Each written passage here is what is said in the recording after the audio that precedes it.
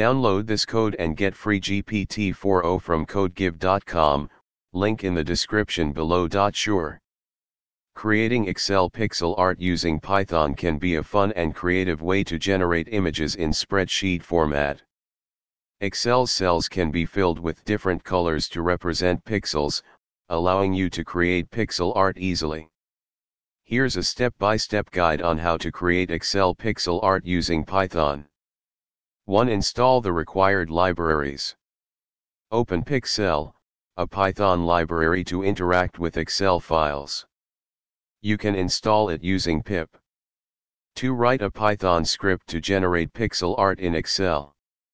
Below is an example code that creates a smiley face pixel art in Excel using openpyxl library.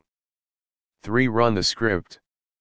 Save the script in a file, example create underscore pixel underscore art art.py, and run it using a Python interpreter. This will generate an Excel file, smiley underscore face underscore pixel underscore art.xlsx, with the smiley face pixel art. 4. Customize the pixel art.